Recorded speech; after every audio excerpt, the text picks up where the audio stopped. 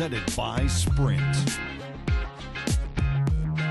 Coming to you this evening from the 2K Sports Studios, this is the halftime report. Some good basketball for the away team. They've done a fantastic job pushing the break and the tempo, easy buckets in transition.